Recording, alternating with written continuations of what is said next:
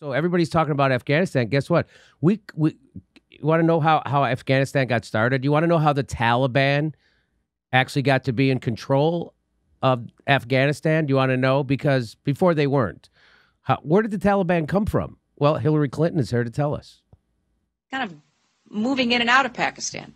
I mean, let's remember here the people we are fighting today, we funded 20 years ago. Oh, really? And we did it because we were locked in this struggle with the Soviet Union. Oh. They invaded Afghanistan. It's Russia's fault. it's Russia's fault. It's always Russia's fault. Okay, here we go. Here we go. And we did not want to see them control Central Asia. And we went to work. And it was President Reagan in partnership with the Congress, um, led by Democrats, who said, you know what? Sounds like a pretty good idea. Let's like deal great... with the ISI and the Pakistani military. You know what? Sounds like a great. What could go wrong? What could possibly go wrong with imperialism? Sounds like a great idea. Why don't we just start making decisions for other countries and how they should run their thing? I, I, I, what could, sounds like a great idea. Let's what if what an interesting definition of work too. Like, ah, what'd you do today at work? well, I gave work. a bunch of money for weapons to these people so they can kill these other people, and hopefully it works out. We'll know more on Tuesday. yeah, let's get to work. Get to work. Let's get to work bombing the, some of the poorest people in the world. Let's get to work. And that's great. Let's get some to come from Saudi Arabia and other places, importing their Wahhabi brand of Islam so that we can go beat the Soviet Union. And guess what? They retreated. They lost billions of dollars, and it led to the collapse of the Soviet Union. So there's a, a very strong argument, which is wasn't a bad investment to end the Soviet Union, but let's be careful what we sow because we will harvest. So we then left Pakistan. So, uh, I, by, by, the way, um, she described the war. She described uh, it's an investment. We we created this terrorist organization called the Taliban, right wing fundamentalist crazies. Uh, and what could go wrong? Put them in charge of a country because we're afraid of Russia. Uh, anyway, so we've been inventing our enemies uh, forever. We've been ever since World War II. We've been inventing our enemies, right? We went into Iran in 1953, overthrew their government, and and that led to the Ayatollah and the government that's in Iran today. Uh, look what we did in Libya. Uh, we invented the Al Qaeda. Uh, ISIS got invented uh, when we went into Iraq. We invented Taliban, Al Qaeda. Did we? We invented the Al Qaeda. Yeah, because that was uh, Osama bin Laden. Um, and so he was considered at the time. Osama bin Laden was considered a freedom fighter. Do you remember that? Remember those newspaper headlines, Ron? You might be too young. Did you ever see those though? People. Well, I saw them after the fact. Yeah, I mean, that, I, I, was too young when they came out, but people yeah. have tweeted out those. I've seen those tweeted out. Uh, the headlines, uh, "Freedom Fighter," and it's a picture of Osama bin Laden and how he's working with the CIA. Uh, so here's. Uh, so I just want to remind everybody how this happened, how we got into Afghanistan. That's how the Taliban got created. We created them to fight Russia.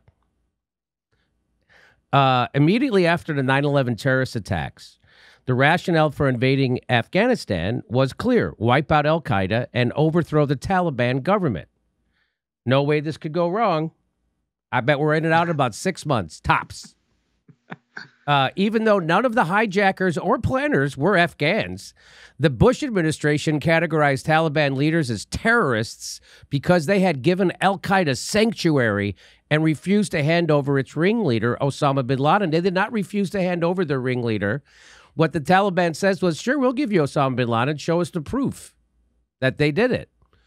The United States refused to do that uh, because I think they wanted to go into Afghanistan and they really weren't that interested in getting Osama bin Laden. Uh, and right, Ron, would you agree with that assessment? They were interested in going into a lot of places. Afghanistan was one of them. Just one of them. Yeah. They were interested in launching a whole new American century project, which is what they did. Yep, and, and they did it. Um, within six months, now this is from the Washington Post. Within six months, the leaders of Al Qaeda and the Taliban were dead, captured, or in hiding. All done. I guess we could pull out, whoops, instead of withdrawing, the United States government started to blur its strategic objective, something that would persist for the next 19 years. It's almost like we weren't actually there to help anybody. it's almost like we were there to make sure a stream of cash flowed into the pockets of the people who pull the strings on our elected leaders, meaning the military industrial complex and Wall Street. Isn't that weird? I think that's weird. Uh, so I just want to let you know that this isn't new. Uh, and what no one's really ever talked about, even though it was uh, news at the time, the Afghanistan papers, it barely made a blip. And what did the Afghan paper? What did the Afghan papers show us? Well, I'm going to show you what the Afghan. So the Afghan papers showed us that this was all a big lie. So, a confidential trove of government documents reveals that senior U.S. officials failed to tell the truth about the war in Afghanistan throughout the 18 year campaign, making rosy pronouncements they knew to be false and hiding unmistakable evidence that the war had become unwinnable. So, that was every administration. That's from George Bush to Barack Obama and Joe Biden to Donald Trump and now Joe Biden. They've been lying all along, hundred percent lying. So you'll get you'll get out you'll get kicked off of Twitter uh, for posting misinformation. But Joe Biden, Barack Obama, uh, they'll uh, they'll never lose anybody lying about the wars. The Defense Department they still have their Twitter account and their Facebook pages, although they've been lying top false pronouncements that they knew were false about the war. So nobody ever has to pay the price. Again, if you lie at the behest of the establishment, there's never a price to pay. So just to let you know how bad it was, this last 20 year war, how bad it's been, we were devoid of a fundamental understanding of Afghanistan. We didn't know what we were doing, said the three star Army general who served as the White House's Afghan war czar during the Bush and Obama administrations. We were devoid of fundamental understanding. We didn't know what we were doing. They didn't know who the enemy were was. Did you know that? They were he admitted that too. We didn't know who our enemies were and who our friends were. We didn't know. We didn't know what our mission was. They didn't know what their mission was because there wasn't one. He added, "What we were, what are we trying to do here? We didn't have the foggiest notion of what we were undertaking. If the American people knew the magnitude of this dysfunction, thousands of lives lost, who will say this was in vain? It's unbelievable. There's the guy saying we didn't have the foggiest notion of what we were undertaking. Didn't matter because they weren't undertaking anything. What were they undertaking? They were funneling $2 trillion from the American Treasury to the military industrial complex and Wall Street. That's what they were doing. What is the point of these uh, 700 military bases? What is the point of the eight wars we're in? What is the point of bombing Somalia and Yemen? And Libya and Syria and Afghanistan. The point is to transfer $2 trillion to the pockets of the military industrial complex. And that's a fact. That is the point of all this. And to steal resources from poor countries who can't fight back. That is the point. Uh, we didn't we didn't know what we were doing. We didn't have the foggiest notion that's the guy, the three star general. The three star general who worked for Bush and Obama. We didn't have the foggiest idea what we were doing. That's the world's strongest military in the world, ladies and gentlemen. Say, we don't know what we're doing. Since 2001, more than 775,000 U.S. troops soldiers have been deployed to Afghanistan, many repeatedly. Of those, 2,300 died and 20,589 were wounded in action. The documents also contradict a long chorus of public statements from U.S. presidents, military commanders, and diplomats who assured Americans year after year that they were making progress in Afghanistan and the war was worth fighting. So is Barack Obama going to lose his Twitter account over that? Just Trump, right? Barack Obama's not going to lose his Twitter account. Joe Biden's not going to lose his Twitter account. Uh, any of the military commanders and diplomats who assured us year after year that they were making progress in Afghanistan and that the war was worth fighting, they knew that was a lie. So they were, again, the biggest uh, dispensers of misinformation is the government. The second is the establishment media. It's not YouTubers and random Twitter people or MAGA uh, uh, TikTok accounts, the biggest disseminators of disinformation and lies is the government and then the establishment media, which is why them banning anybody from Twitter or Facebook is a joke. Every data point, every data point. Now, everybody knows this, by the way. So, everybody in the media knows this. Every data point was altered to present the best picture possible.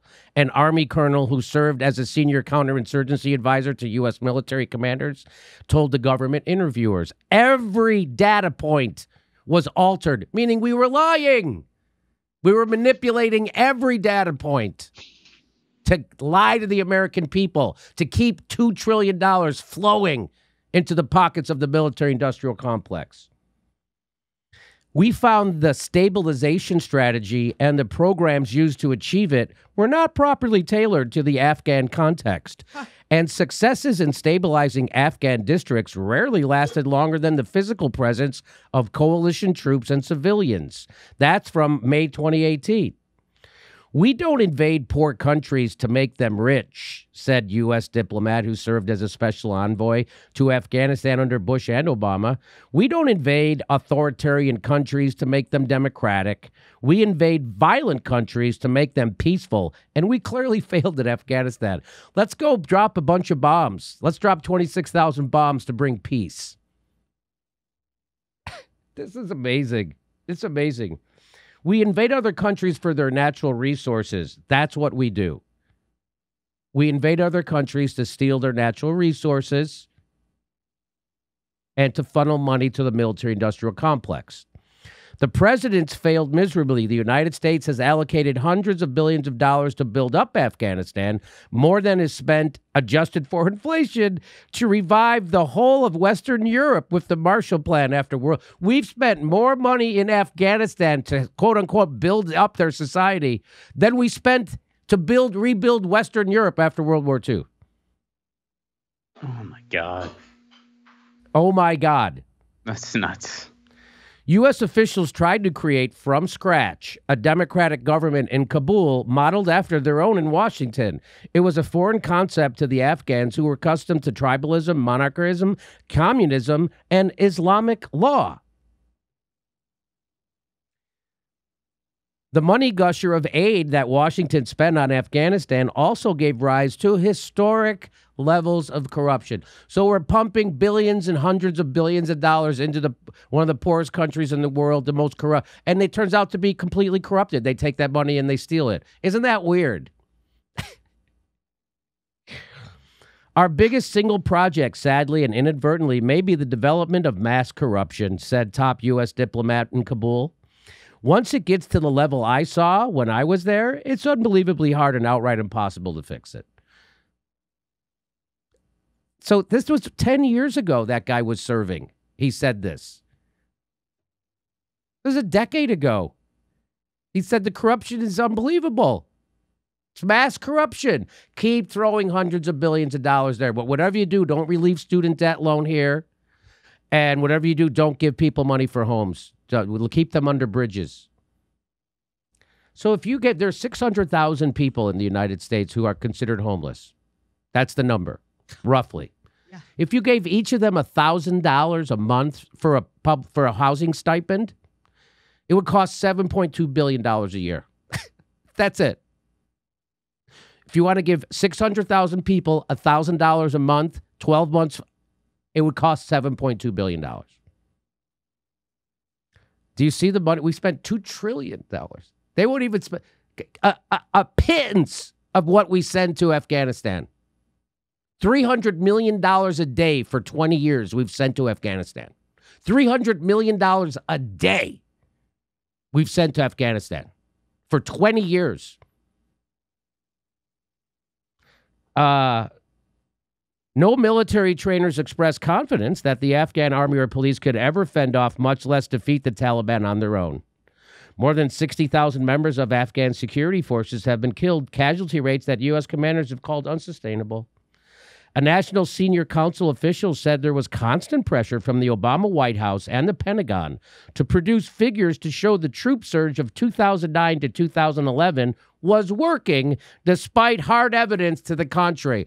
Barack Obama wanted to lie to the public, and he did, about war. Did he lose his Twitter account? So, this idea that Donald Trump is the only liar and he's the only dangerous liar Again, you're a chump if you believe that. You're a chump of the highest order.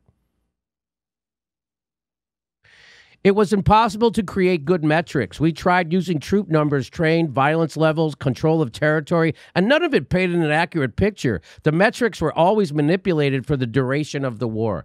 So your government has been constantly lying at the top of their lungs. That means Barack Obama and George Bush, Joe Biden, Dick Cheney, Donald Trump, Mike Pence, they've been lying to you at the top of their lungs about Afghanistan. Even when casualty counts and other figures looked bad, the senior NSC official said the White House and Pentagon would spin them to the point of absurdity. Suicide bombings in Kabul were portrayed as a sign of the Taliban's desperation, that the insurgents were too weak to engage in direct combat. Meanwhile, a rise in U.S. troop deaths was cited as proof that American forces were taking the fight to the enemy constant lying. And I just want to so so this idea that the establishment cares about lying or that they cared about Trump lying or that they're afraid that someone might spread in misinformation what they are afraid of is losing the narrative. And that's why they're using such crude forms of control like censorship outright censorship now. And you have shit libs from coast to coast who are cheering it on. Keith Olbermann wants me censored from all platforms in the name of hating Trump.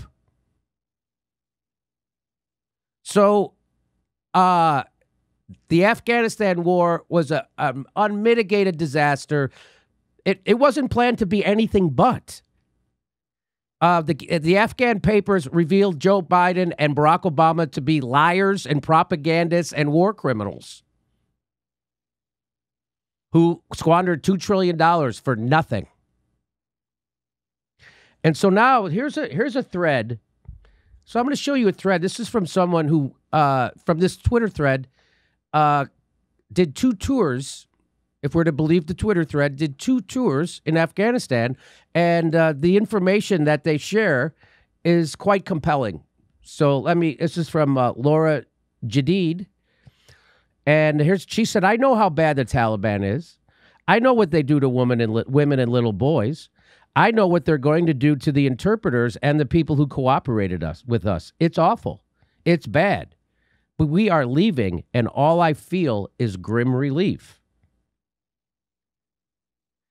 let me just here's where she started. She said, I deployed in Afghanistan twice, once in 2008 and once in 2009 and 10. It was already obvious that the Taliban would sweep through the very instant that we left. And here we are today. So that confirms what the Afghan paper said. The Afghan paper said that uh, the Afghan soldiers could not hold off the Taliban. Nobody thought they would. Do we have a uh, and so there you go. I know how bad the Taliban is. I know what they do to women and little boys. I know what they're going to do to the interpreters and the people who cooperated with us. It's awful. It's bad, but we are leaving, and all I feel is grim relief.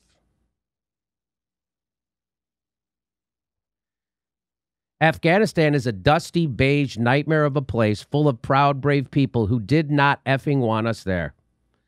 We called them Hajis and worse, and they were better than we were, braver and stronger and smarter.